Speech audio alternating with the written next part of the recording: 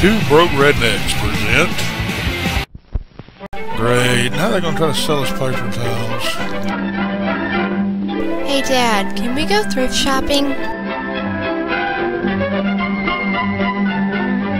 Would have been better if he was from the Gene Simmons College.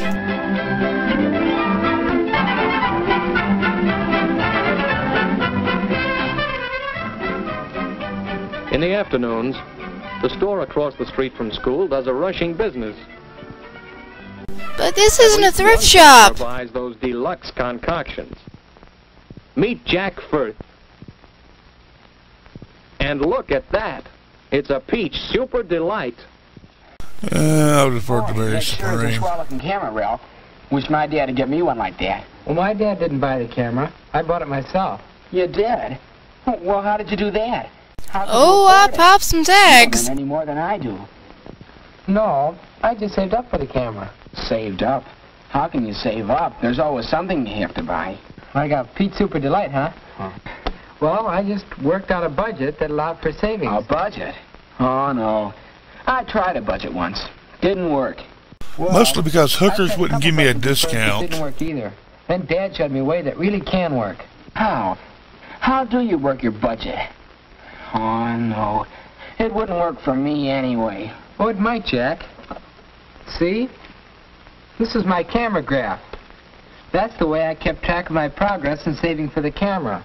Here's the Well, what point where I you asked? Grandma for the money. Along this side over here, I have the savings marked off. And the weeks are marked along the bottom. I aimed at this dotted line to save $2 a week for 20 weeks. And then I'd have my camera. I almost made it too. But then a couple of times I slipped and didn't save my $2 that week. But I finally made it. And now, Oh, it looks like a good idea. What's this one here? well, that's for the tripod I want. Looks more like something graph. out of the Blair Witch. Now that I've done it once. Yes, Ralph has a budget and a method of saving that shows results. If Jack were as determined to get a camera, if all of us were as determined to save for things we want, perhaps we could budget successfully and get some of them. What about it? Is it easy to make a budget work? Not if you're in Jack to Congress. That to himself. And if his taste is always as rich as it is this afternoon, it may not be easy. How do you make a budget? Well, when a Is mommy a budget graph loves a daddy budget, A they have ago, little Jack saw an budgets. example of a budget. The budget his family uses. Out of its total weekly income, Jack's family allows so much for food, household, clothing. Each part of their regular expenses is allowed for in the budget, No wonder he can't afford anything. He's always eating. so as to follow the budget as closely as possible. Yes, even Jack's allowance for his work around the house is part of the family budget. And there's a provision for savings, even with all those other expenses. So the family has a budget which allows for savings. Are budgets just for parents? Can Jack do any saving out of his income? No, because he blows see. it all on food. Let's take a look at it. There's that work at home allowance of $2 a week. And Jack earns $6 a week working part-time in the library. Now combine these two, and we have Jack's total income, $8 a week, for Jack's expenses and what he can save. No wonder Jack can't afford nice things. Regular, predictable expenses like lunch money, car fare, and then the expenses that aren't quite so easy to predict. Personal expenses, after-school snacks. Uh-huh. Now let's try to hold that down to 50 cents and save more. Then school supplies. And entertainment, movies and dates. There. Does that handle Jack's expenses? Look, there's $3 left for savings. Oh, Lord, I've been Jack saved! expected. What did he do with all that money before? He blew it at the track. There's one type of thing that ate up his cash. If he'd do without extravagances, he could save every week. But he'll have to watch things, keep records of expenditures.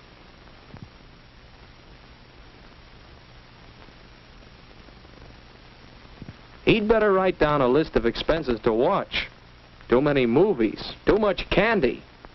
Too much online porn. And maybe Jack can try Ralph's idea of a graph.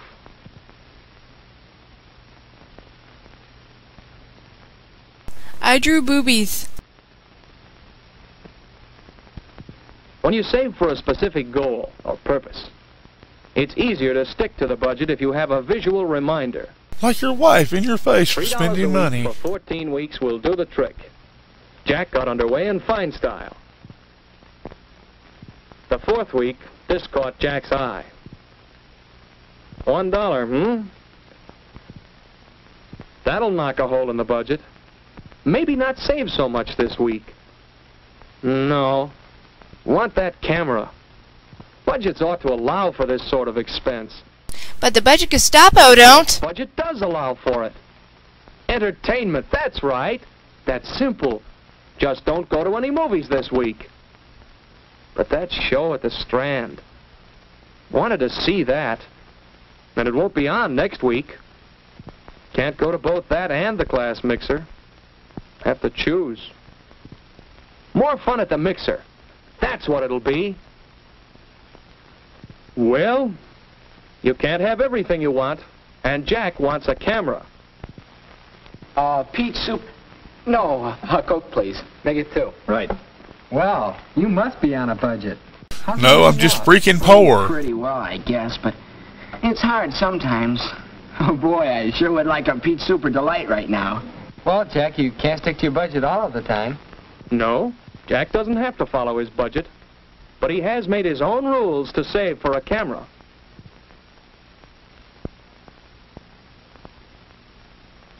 As long as he follows those rules and chooses to save, he'll find that the pennies certainly add up at the end of the week. And that cameras are not But cheap. not all choices are so easily made. That'll be some football game, and Jack wants to go. Who wouldn't? Uh, my wife. Well, where can this fit into the budget?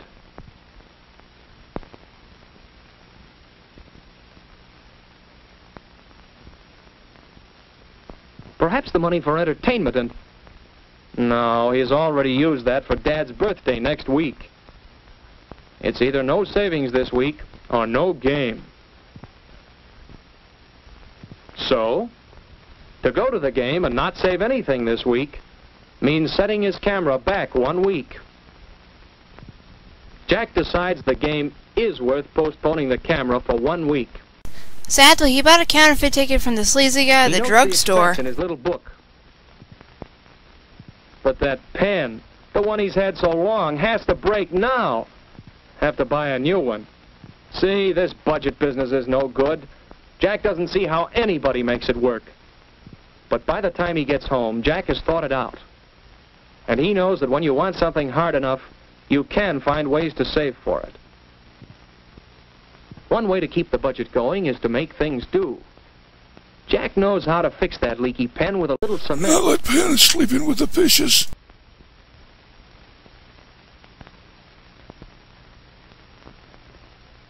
Hot glue sniffing action. Not as good as new, but it'll hold for a while. So Jack goes on, trying to stick to his revised schedule. But a few weeks later, his repair job gives out. He just has to buy a new pen. This one, which fits within his 50 cent school supplies budget, is not a good buy at any price. But to pay for this one, he'd have to take some out of his savings. He keeps writing his name to remember who he is. He knows, however, that buying cheap, unsatisfactory products is never thrifty. So, even though this pen will make him draw money from his savings account, it is a better buy and a necessity. And yet again, he got fooled into buying a counterfeit product by the sleazy drugstore But guy. Jack isn't going to let that setback stop him. He still wants that camera. By saying no to extravagance. And wanking it more than By hiring finding ways of hookers. entertainment that don't cost money. By fixing things and making them last. Jack keeps going toward that goal. Every week seems a little easier until finally Jack makes it. Right on schedule. Isn't that a honey? It now you can really take upskirt photos!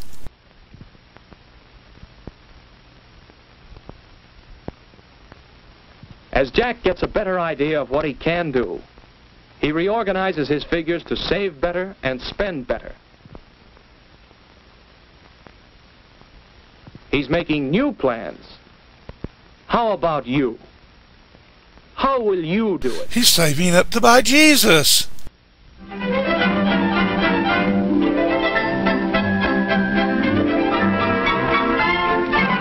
Well, this sucked. Never seen a thrift shop in it. Dear Broke Rednecks, we don't make bad movies, we make bad movies better.